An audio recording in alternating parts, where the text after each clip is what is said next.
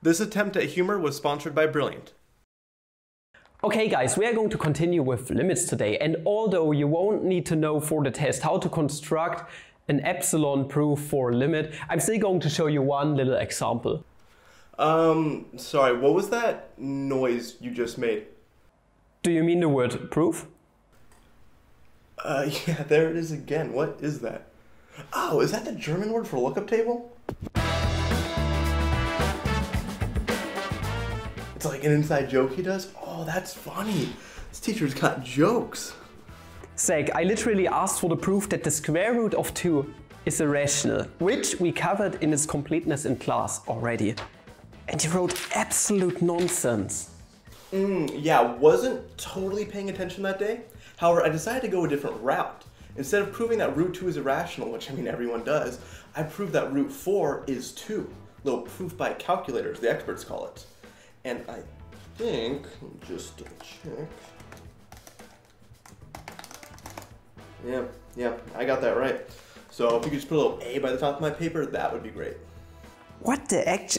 Zach, for this proof, you simply rewrote my question and put a QED under it? Ah, well, I thought that was trivial and left it as an exercise for the grader. No, it definitely does not work like this. Ah, ah, oh, yeah. The meme comes alive. So what are the applications of this? How does this affect me?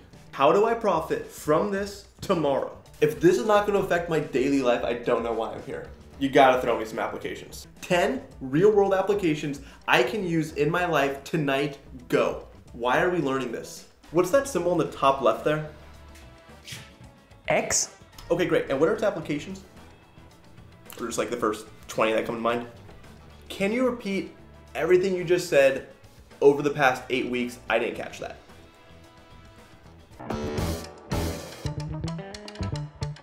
Now, if you really want an A on this exam, you need to show all your work. Okay. But if you only want a C, then Okay, now we're talking. You said we could still get to see if we show partial work, so just how partial we talking here? um, roughly 70 to 80 percent. Yeah, that makes sense. Wait, but why would she even try to go for a C in the first place? I'm sorry, what? I am not getting this. What are you working on?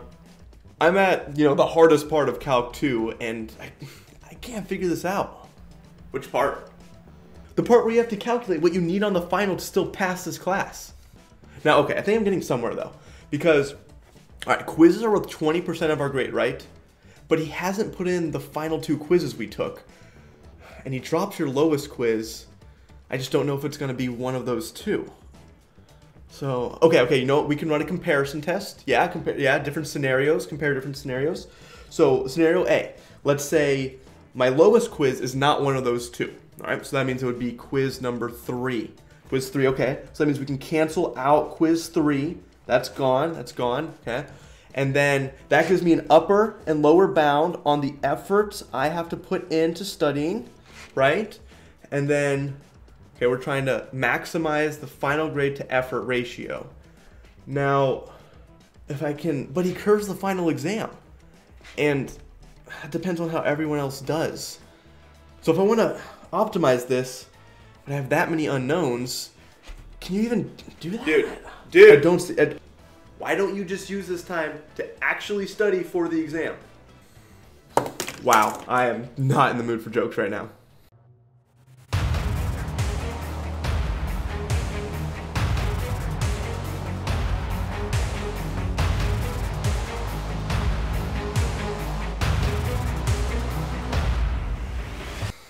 Dear Calc 2 gods, please let this final make a little bit of sense.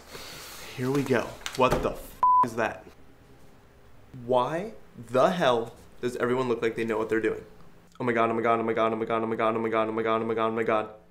Maybe I can know, or would this be? I, I don't know, I don't know, I don't know. Holy crap, this curve better be amazing. Everyone just needs to do terrible. Hmm, let's see, how confident does everybody look? Okay, this guy knows what he's doing. I gotta stop him somehow. Dude, what are you I'm doing? so sorry. I'm sorry. I What the hell? Shh. People are taking a test. Eyes on your own paper. Yeah, you keep saying that. Is that required? Is that like an optional thing? Sick.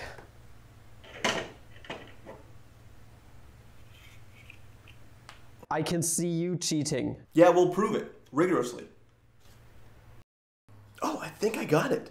If I can manage to get 8 out of 10 points on this question, then that'll make up for the 2 points I'll try to BS on this question, and then I'll be good. So, 30 seconds left, you guys. Uh, converges, diverges, diverges, converges, 7, 3, pi over 4. Like, why don't they just give me my diploma?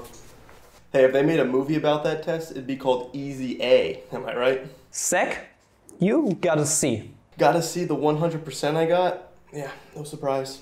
Yeah, really an F without a curve, but we will chat later. hmm Yes, guys, let's get an F in the chat for the curve that I ruined. Good call, Professor. All right, now I gotta see this thing. Let me check it out. Or just show me the answer key. You know, same test, am I right? What the fuck? Thank you to Brilliant for sponsoring this video. If you want your next test to go as buttery smooth as that transition, check out Brilliant.org, an educational platform that hosts dozens of courses in math, science, and engineering. For the engineers out there who want to not cry as much in math class, I recommend their advanced math courses including multivariable calculus, differential equations, vector calculus, and more, which cover a range of applied math concepts useful in a variety of fields. What I like is that they teach you the technical information through visual animations and real world examples as much as possible to make sure you really understand even the more advanced concepts. Additionally, you can inspire others and encourage lifelong learning by gifting a Brilliant Premium subscription. If you'd like to get started right now and support the channel, go to brilliant.org slash majorprep, and the first 200 people to sign up will get 20% off their annual premium subscription. And with that, I'm going to end that video there. If you guys haven't seen it yet, be sure to check out the Flammable Maths channel where Jens and I did a separate collab slash skit video. Thanks as always to my supporters on Patreon, social media links are down below, and I'll see you guys in the next video.